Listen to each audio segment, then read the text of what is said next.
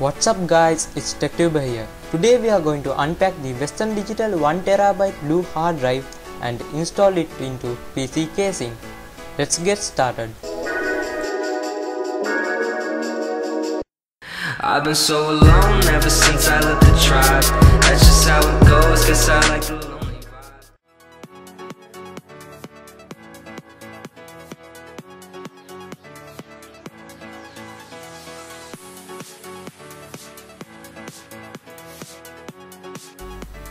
As you all can see, this is the 2017 version of this hard drive.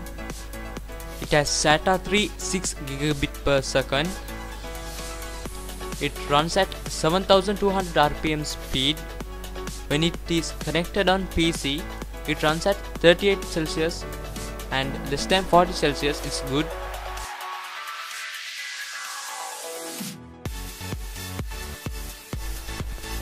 Now I am going to remove my old Western Digital hard drive and before doing that I have to remove my screws on the four sides.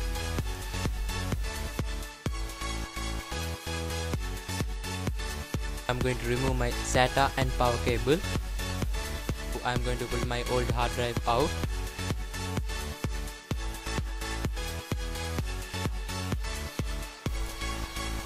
Now I'm going to install my new Western Digital Blue hard drive. Please make sure that the case holes aligns with the hard drive holes so that you can mount the screws.